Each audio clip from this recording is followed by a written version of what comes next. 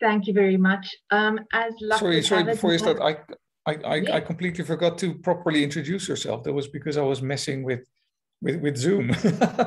so sorry about that. Uh, so let me quickly introduce no. uh, introduce you. uh, so Marissa holds an, an MA in Applied Linguistics from the NWU and has been working as a computational linguist and project manager, first at CTEXT, which is also at the NWU, and then at UNISA since uh, 2009. She's taught various modules in the BA Computational Linguistics program at the NWU, and has most recently gotten involved in the carpentries uh, as a helper and instructor. Um, Marissa is currently the project manager of the SADiLaR UNISA node, where the African WordNet and multilingual linguistic terminology are under active development. She's also enrolled as a PhD student at UNISA and hopes to show in her research how the limited research, uh, resources available for South African languages can be used creatively to, to produce more complex HLT tools. So sorry, sorry about that, um, Marissa. I hope that introduction was good enough and I'm really looking forward to your presentation. Thank you very much, Menu. Um, better than I would have done it myself. So thank you very much for the warm welcome. Um, just a note, I'm leaving my video off. Apologies for being so rude.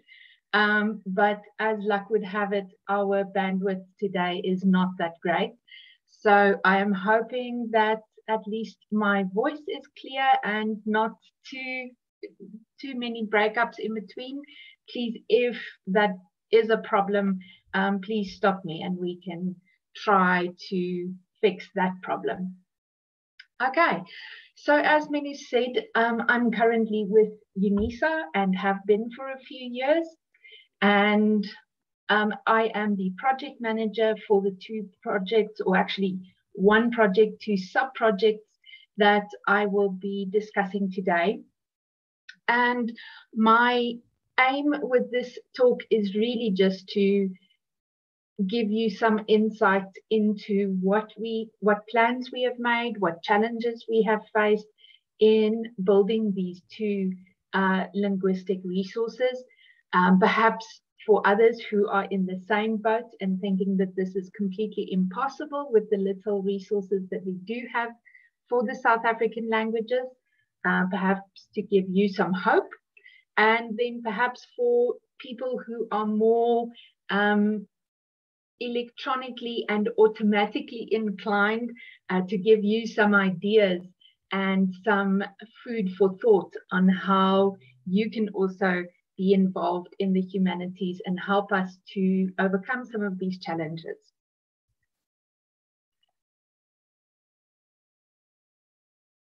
All right, so in this presentation, I'll just give a quick introduction to the two linguistic resources that we are building, um, our approach and different things that we've tried to speed up the development, what we've learned from that, and then just a few suggestions and conclusions uh, to wrap it up.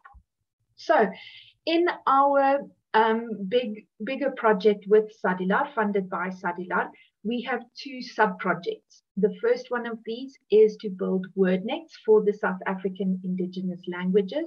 And we are currently building nine such WordNets. I'll get to, to the details on those in just a minute. And the other sub-project is to build a multilingual term bank focusing firstly specific on linguistics, and then in a follow-up project, we also hope to follow to focus on some literary terms. So let me first introduce you to what a WordNet is in a nutshell. And on the screen there, you can see the links to two of the most prominent WordNet projects. The first one, the most prototypical WordNet, is that um, developed at Princeton uh, for American English. And the screen that you see there is an example of how a synset, which is the building blocks of a WordNet, is displayed in the Princeton WordNet. Now you'll see there um, that I searched for the word noun in Princeton WordNet, and it gave me um, not only a definition, but also quite a few other synsets that are semantically related to the word noun.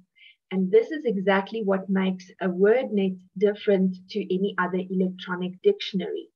Not only are there words, terms with their usage examples and definitions as you would find in an electronic dictionary, but then we also go one step further to add hyponymy, meronymy, um, antonymy even, and synonymy is a big building block of a WordNet. So different synsets or different concepts are grouped together based on their semantic relations. And we do that, um, well, the latest trends have been to do that in a very graphical manner because then you can easily see these building blocks and the different relations between them uh, add to each other and add to the meaning. So what you see there on screen um, in the middle is the synset for foot. And to the right-hand side, you can also see the definition and the usage example. And then you can see all of the different synsets, each in an orange block, that are in some way related to this base concept. And here we can see that there are things like big toe, uh, various um, arteries, the pedal extremity, flat foot, and various other things that roughly share a conceptual relationship with the word foot and with this specific meaning of the word foot. Of course, there will be a picture like this for foot as in a unit of measure as well. And then also one for foot as in the lower end of a bed um, and all of the different words, all of the different concepts that share the word foot. Now, as I mentioned, the African WordNet project started or it currently aims to build WordNets for nine South African languages. And it started in 2007 already with an initial workshop hosted by Professor Christiane Fellbaum, who is the founder of the Princeton WordNet. And she came to South Africa and we invited um, at least two linguists for each of the South African languages who at that time showed interest in such a project. And she showed us the basics of building a WordNet, some pitfalls to be on the lookout for, and showed us the way forward for the South African languages. We then started looking for funding to do this important work, and in 2010 officially started development for isiZulu isiXhosa, Setswana, and Sesotho sa Leboa. We then incrementally added the other languages. 2013, we added Tshivenda. 2018, Sesotho and Siswati. And most recently, in 2019, we also added Setsonga and isiNdebele to the project. Currently, we are busy adding more synsets or building blocks to these nine word nets. And we are also expanding on the semantic relations already um, included. Another important milestone for the project was that SADiLaR, the South African Digital Language Resource Center, officially became the long-term host for the African WordNet in 2018, ensuring a more sustainable future for this resource as well. Now, during that initial workshop in 2007, Prof. made it abundantly clear that the expand approach is more often than not more successful for less resourced languages.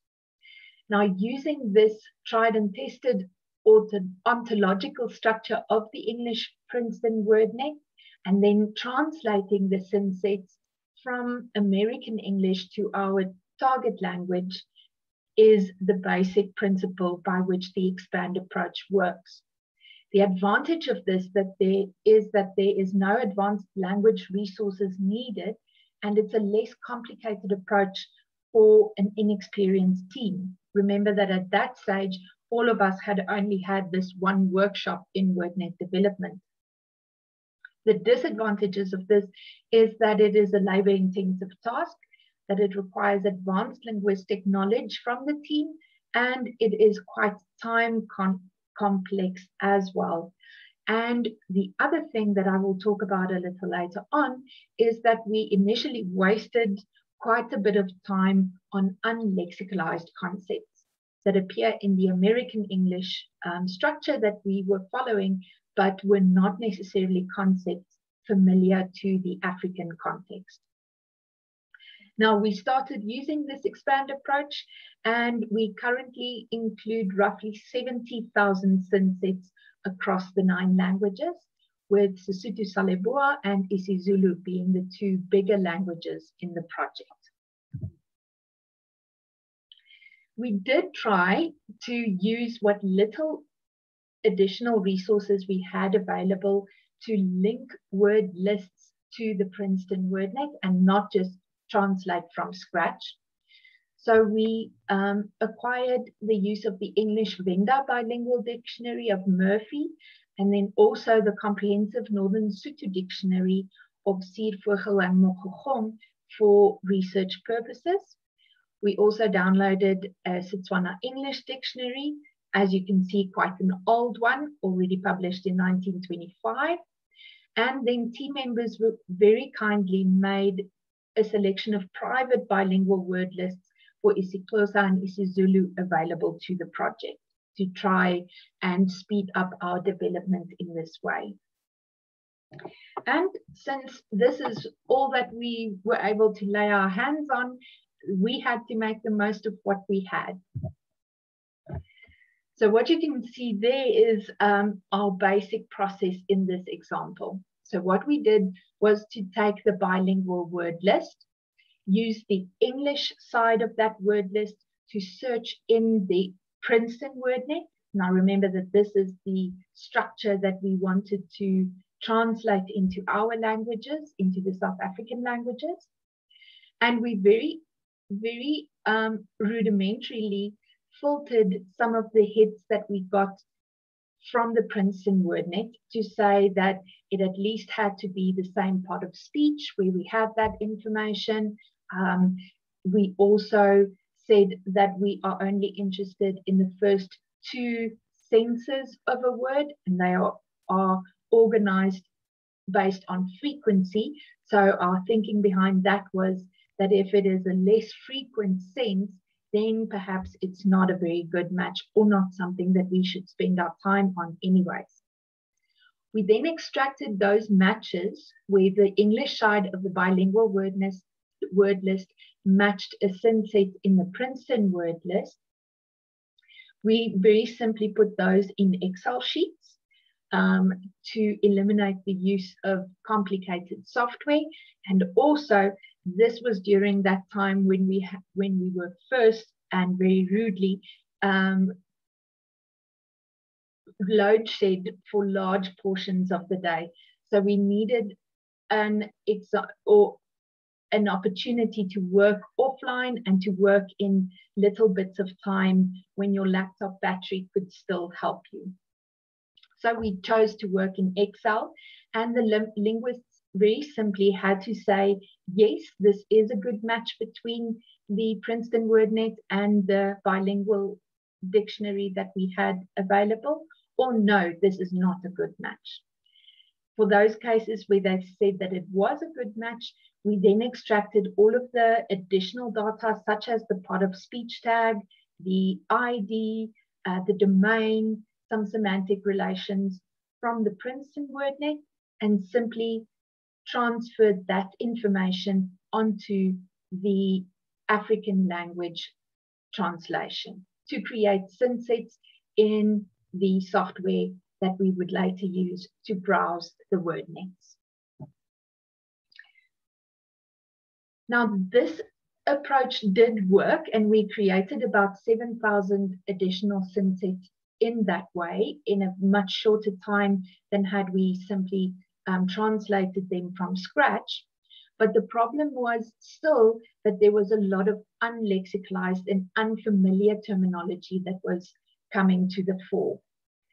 We then decided to try and Africanize our very Eurocentric seed lists and we used the SIL comparative African word list compiled by Keith Snider and James Roberts, published in 2006, to try to alleviate this problem. Now, this list has 1,700 words with both English and French glosses, resulting from linguistic research in Africa. So, our reasoning was that at least this would be more context sensitive. The items are also organized semantically under 12 main headings from man's physical being to animals and grammatical items, making disambiguation a bit easier. So, our hypothesis creating a more localized South African English source text and then translating this into all nine South African languages would fast track the development of new synsets. But, and this is sort of a happy coincidence that we um, are very happy now to report on, it also forms a multilingual parallel subcorpus of commonly used concepts.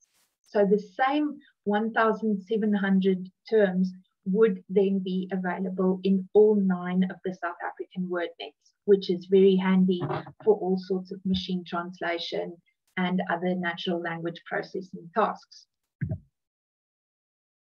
Okay, so the basic workflow here, you take the English term from the SILCAWL list, compare it to the Princeton WordNet to find a possible matching synset and extract more data as well as with the Open Educational Research Term Bank, which I will talk about a bit later. And we filled in the official South African languages to find a possible definition for the synset. This English dataset was next sent to South African English lexicographer to expand so that each term from the SILCAWL had an English lemma, definition, and usage example. The lexicographer also localized the data to the South African context as far as possible. This complete set of English synsets was then sent to the translators to create an equivalent in the nine South African languages that form part of the African WordNet project.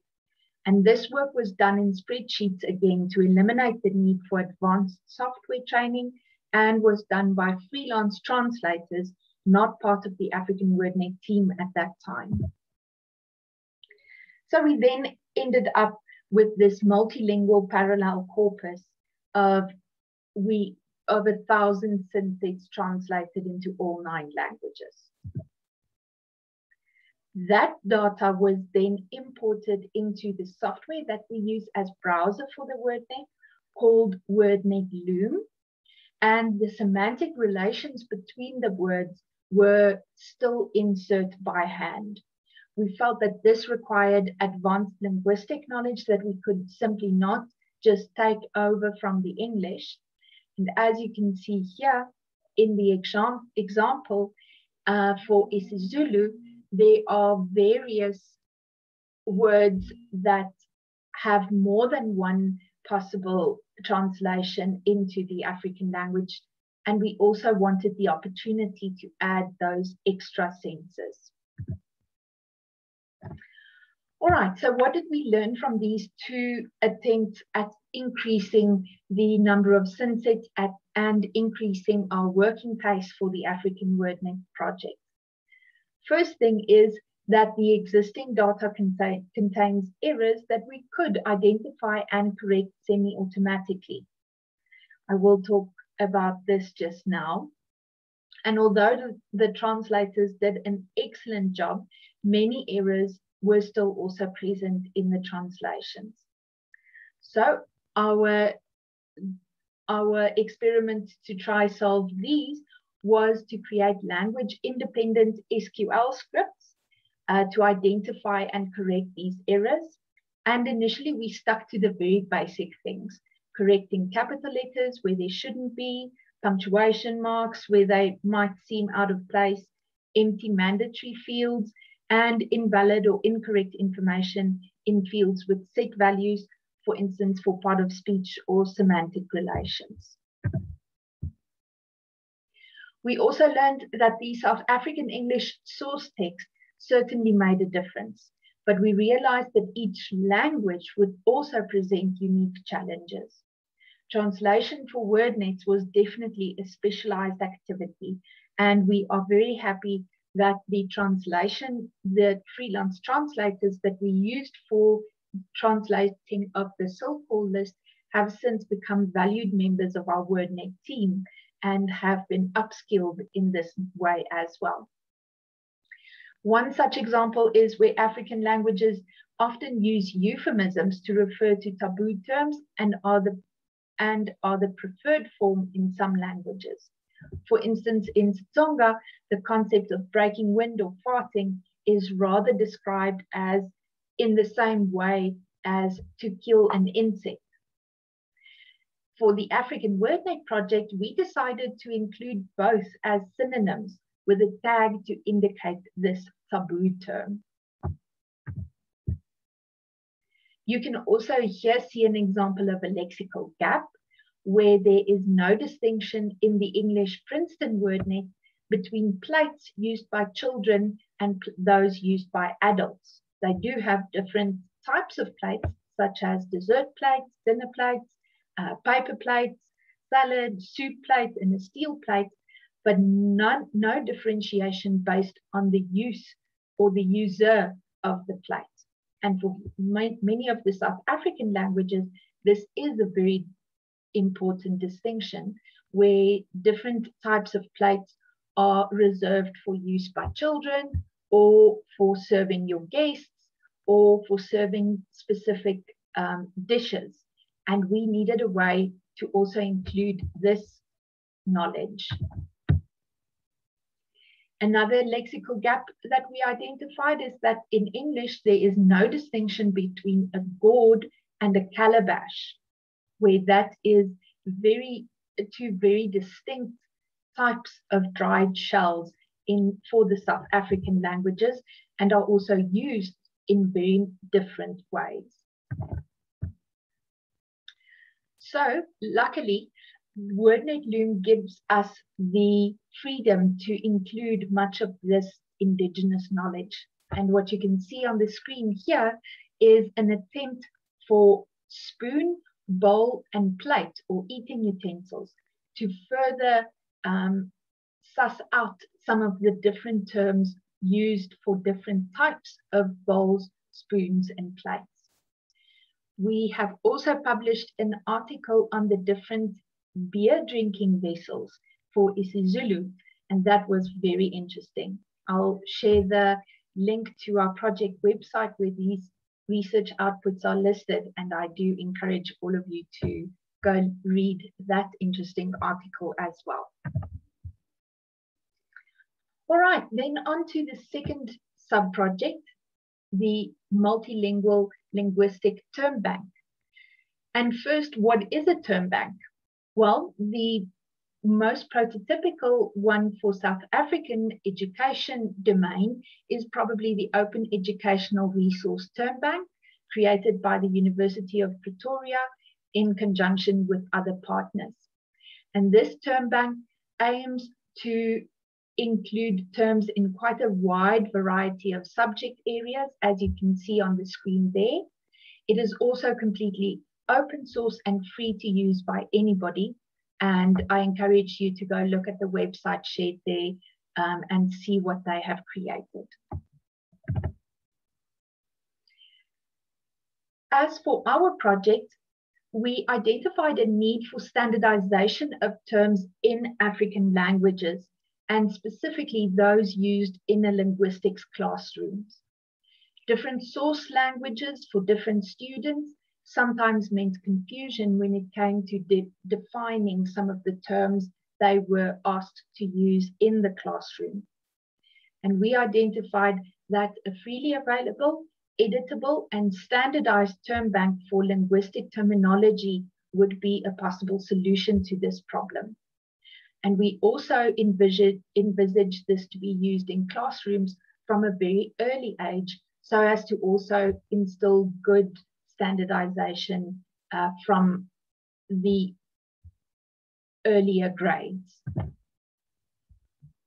Our process in developing this was to initially uh, perform semi-automatic term extraction after digitization of old UNISA study guides that we got permission uh, to use in the project.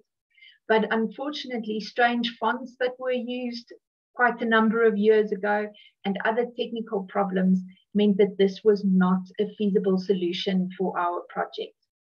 So what do we do when we can't use the technology to our advantage? Well, we got a, a team of experts together.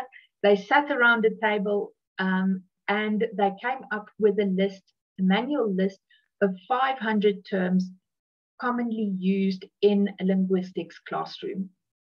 It was very important that the team of experts was a multilingual unit so that they could give insight from all nine of the South African languages.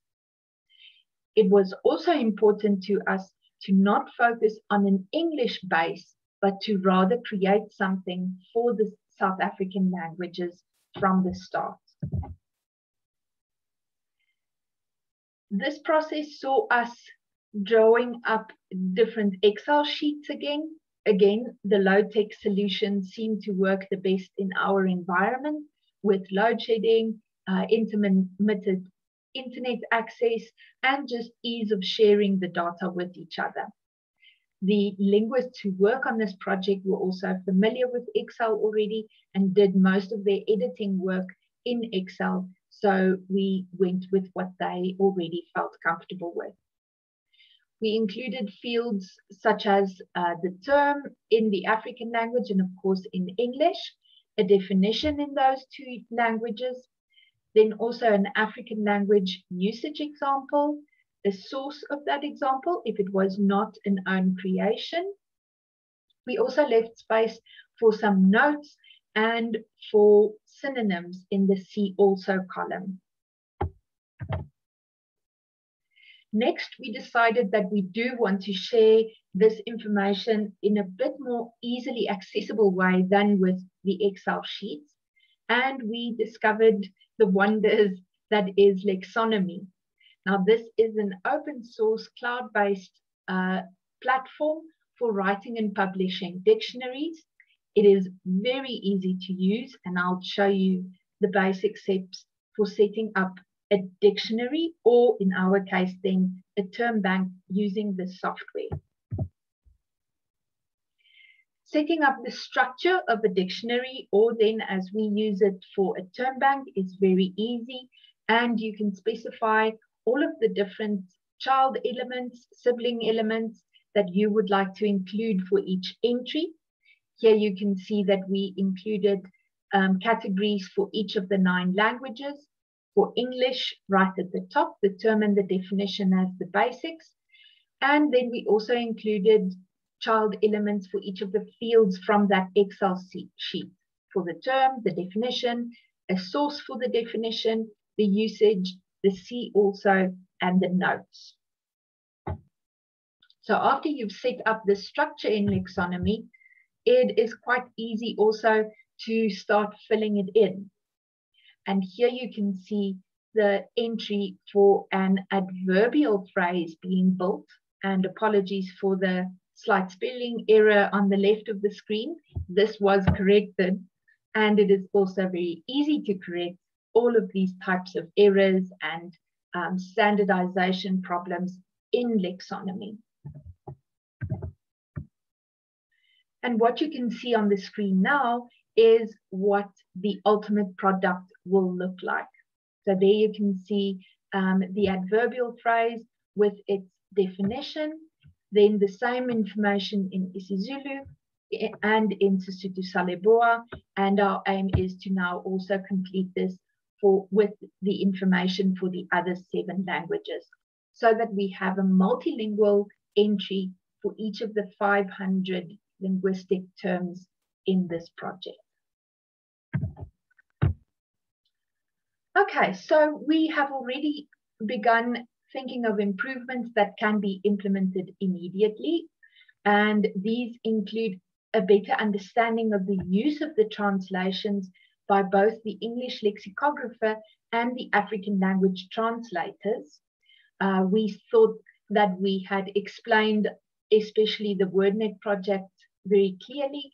But when we started seeing the translations, we saw that the contextualization was still a bit lacking. And this might simply be due to inexperience of the team and not feeling comfortable yet with changing the English based terms as provided to better suit each language context. To eradicate this problem, we provided more training and we also improved the style guide to include more details in detailed instructions with examples in the various languages.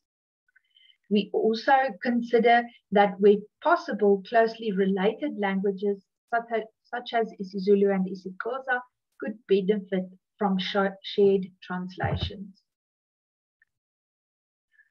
Some other improvements that we want to implement will take more work and more time. For the African WordNet, for instance, it would be beneficial to add morphological analysis or as a minimum lemmatization to the quality assurance pipeline to check that the lemma is used in the usage example, for instance. And this will reduce the amount of confusing sentences. For both projects, we'd also like to include other quality assurance measure, measures, such as spell checking, checking for mandatory fields left open, or invalid values for some fields directly into the development interface. But this is still a long-term goal. In conclusion, yes, before you ask, all of the data developed in both of these subprojects will be made available under the Creative Commons license via the SADiLaR language repository, resource repository. And we hope that this, these two very basic resources will increase natural language processing development, particularly for the African languages.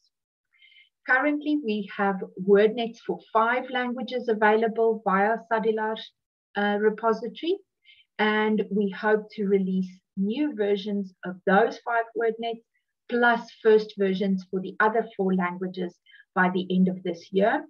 Unfortunately, COVID has halted our quality assurance process slightly because we could not have the workshops that we had hoped in to ensure the quality of the WordNets available for download.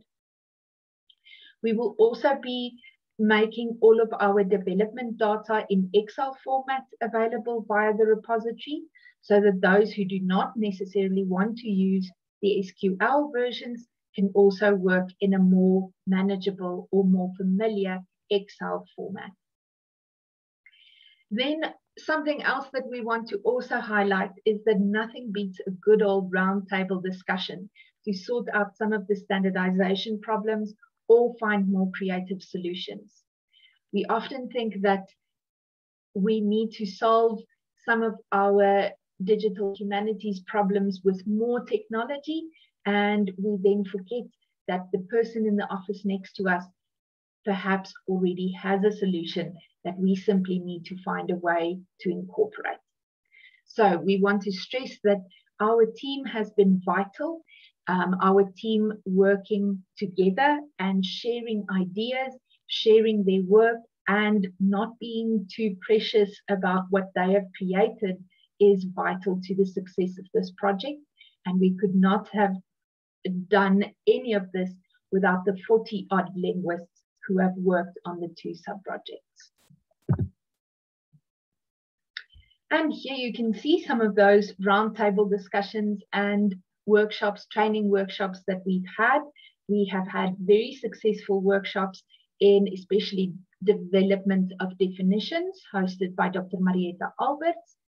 We have had colleagues from the Wrocław University in Poland who are actually the developers of the WordNet Loom interface that we use for WordNet development. They came to South Africa and um, gave us some advanced training on using their software platform. And we've also had a lot of sharing in smaller meetings where different language group, groups simply sat around a table, made a pot of coffee, and came up with some very creative solutions to some of our uh, unique language phenomena and how to uh, incorporate those into the digital and the electronic formats. And that is my entire story. so I think we now have some time for questions. Right. Thank you. Thank you so much for this uh, interesting presentation. Uh, we do have time for questions. Um, okay, I already see a question in the chat. I hope, I hope you're ready for this. Uh, so Tanya says, absolutely agree uh, that low-tech solutions like sitting down and talking. Oh, um, wait a minute, the, the chat jumped there. Uh, so, and talking to each other can be a good approach. Okay, that was not really a question. Uh, Alan Murdoch says, aside from linguists, did you also require the assistance of other professionals, e.g. computer programmers, or were the linguists proficient in programming, or was programming not necessary? So no, none of our linguists were proficient in programming. Um, I am trained as a computational linguist, so I can script to save my life, but um, definitely not to the level of creating new software um, solutions to some of our pro problems. When we started with an advanced quality assurance phase, we did enlist the help of a professional uh, programmer to write those SQL scripts that I mentioned.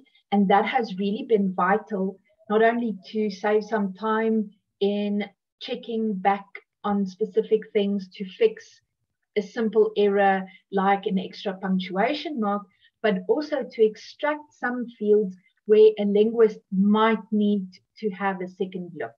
There might be um, a term that consists of five or six words where we could perhaps lexicalize that with a single word or a much shorter phrase.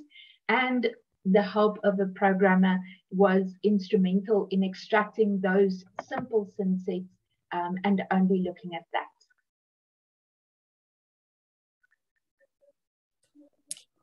Okay, thanks. I hope that answered the question. Uh, has a question on localization and culture. Do you have a sense of how big the changes to the initial structure of the data was based on localization and hence culture? Um, so we, we don't have a sense in the statistical um, in a statistical manner yet. Um, but what we have done so far is to look at certain categories or, or phenomena that we know are apparent in all of the South African languages. We have, for instance, looked at the kinship terms, which in South African languages are much more complex than in English, for example, even in South African English, where the gender of the speaker um, also influences the term used in a kinship term or in a greeting. Um, the, the age of the person that they are talking to influences that entire construction. Um, and we feel that it is important to not only give the basic or the more um, prototypical terms, but to also color in, especially the word nets, with these more culturally specific phenomena. So yes, to answer your question, we've identified a few of these sort of categories and are working through them one by one um, to include the indigenous, indigenous knowledge and culture in the word nets. Okay, great. Thanks. I actually have a uh, I have a whole list of questions as well. So this is a question kind of related to the uh, the previous question. So I was actually wondering, how do you decide what words to add? Uh, so you can't just um, uh, you know add all words at the same time. So you need to make some sort of selection that holds for both the WordNet as well as the term bank um, uh, project. So how do you decide what to include and what not to include and in what order? So initially, we, for WordNet specifically, we started with the so-called base concepts. So this is a list of 5,000 words that the Global WordNet Association uh, made available for startup WordNet projects. Um, in a way to just get them started. And it aims at including the most frequently used universal terms uh, for most languages. We did find that those were very much Eurocentric um, basic concepts. It for instance, included names of birds and trees and um, concepts like that that we simply do not we simply do not have those birds and trees in South Africa. So linguists were spending spending quite a bit of time to try and fit the meaning into the South African language structure, and it was a waste of time. Um, we then encouraged linguists to sort of explore their own um, creativity and their own interests when developing new synsets. So for the Setswana language uh, WordNet, for instance, we one of the linguists is also a translator for an agricultural um, publication. So his interests and his area of expertise is definitely agricultural concepts, and he included quite a large number of those.